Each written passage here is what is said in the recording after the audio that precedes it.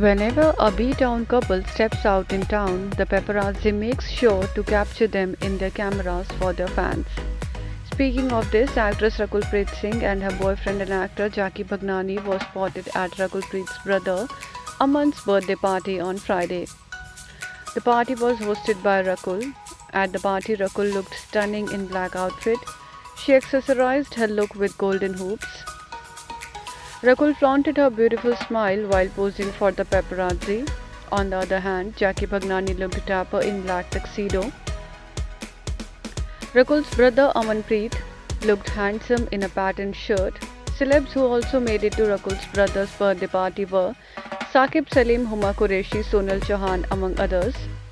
Rakul and Jackky made their relationship official last year in October. On the acting front, Rakul will next be seen in Runway 34, Chhatrivali, Thank God, and Dr. G.